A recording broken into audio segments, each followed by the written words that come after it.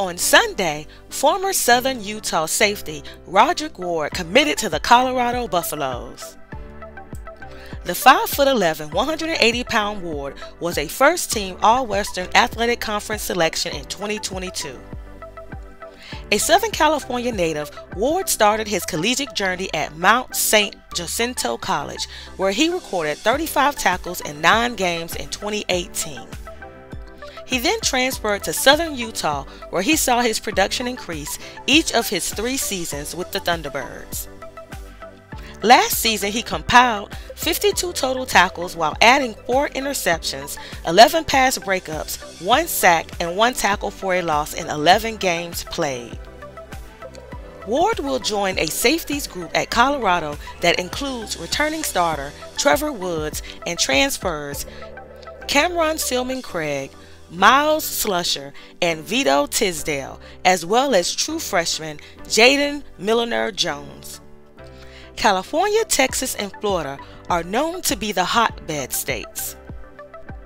These states have long been considered the best to recruit high school talent to join the college football ranks. The Colorado Buffaloes have historically done well in California and Texas, but they've had little to no footprint in Florida.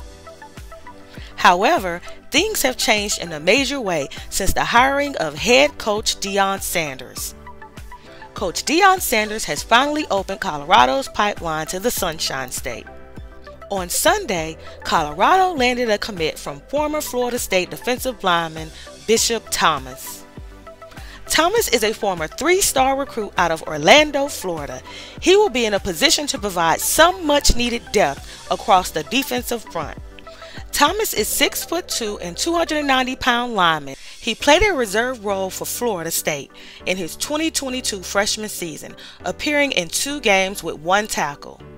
He was a highly sought after recruit in his class, however, choosing the Seminoles over several other Power 5 schools.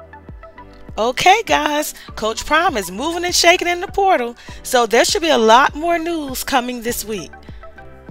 Go ahead and leave your comments down below. Tell me what you think about the two new recruits. As always, please like, subscribe, and share the video.